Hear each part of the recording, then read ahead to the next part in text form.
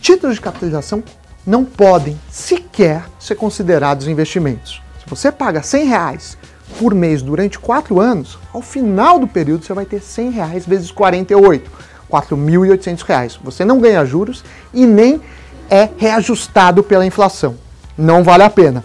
Por que acontece isso? O título é pago em três partes. Uma é a capitalização que fica para você. A outra é o rateio do sorteio. E por último, tem a taxa de carregamento ou administração dos bancos.